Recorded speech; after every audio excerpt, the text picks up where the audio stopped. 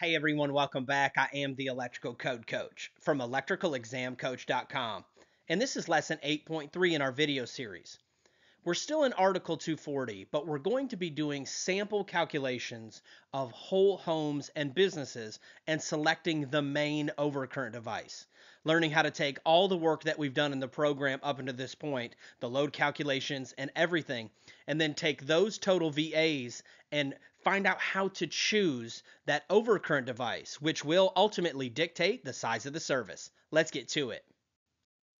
What size main breaker would you select for a home with a total calculated load of 23,123 VAs on a 120 240 volt system? Step 1 find our total connected load. Well, they've already done the load calculation for us, so all we have to do is take our total known VAs and divide it, and that's going to give us our load in amps. And in this case, it's 96.35. We would round down to 96. Now we check for demand factors. Because this load calculation was already performed, there are no more demand factors to do. They were done along the way, right? We would have performed our range demand factor, our dryer demand factor, and then now we have this total lump sum of 23,123. So all we have to do is divide by 240 and there are no demand factors. Now that we have our known load, we head to table 240.6a and we choose the next size up and in this case is going to be a 100. Great job. What size main breaker would you select for a home with a total calculated load of 47,000 VAs on a 120 240 volt system? Step 1 find our total connected load. In this case, they've done all the math for us and 47,000 are our total VAs. All we have to do is divide that by the system voltage. And in this case, it equals 195.83 and we would round down. Now we check for demand factors. And in this case, there are no demand factors because they were already performed to get us that 47,000 value. Now we head to table 240.6a and choose our next standard size. And in this case, it ends up being a 200 amp breaker. Great job! What size main breaker would you select for a home with a total calculated load of 38,000 VAs on a 120 240 volt system? Step 1 find our total connected load. They've already done the math for us, so all we have to do is divide by the system voltage. And in this case, it equals 158. Now we check for demand factors. And like we said before, there are no more demand factors on this calculation. We head over to table 240.6a and we choose the next standard size breaker. And in this case, it's 175 amps.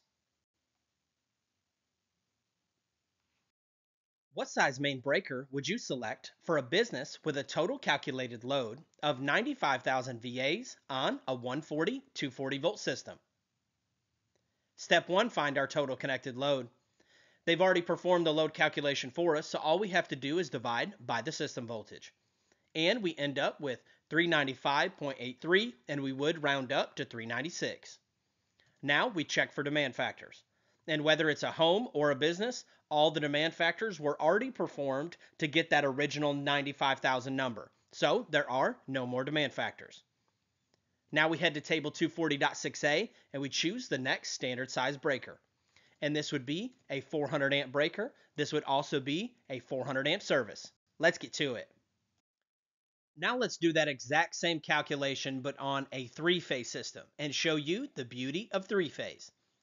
What size main breaker would you select for a business with a total calculated load of 95,000 VAs on a 120 208 three-phase system? Step 1 find our total connected load. Well, they've already given us our total VAs, so all we have to do is divide. But with three-phase, there's one extra step. Because of the geometric nature of three-phase, we have to take that 208 and multiply it by the square root of 3. The square root of 3 just so happens to be 1.732. Once we work that math out, we end up with 360.256. And it seems like a lot of work on the front end, but you'll find out that you'll trade this little bit of math for what this is getting ready to provide for us. Now we can take and do our math, and after we divide it out, we end up with 263, and of course we would round up in this case. There are no more demand factors, so we head to table 240.6a and choose the next standard size.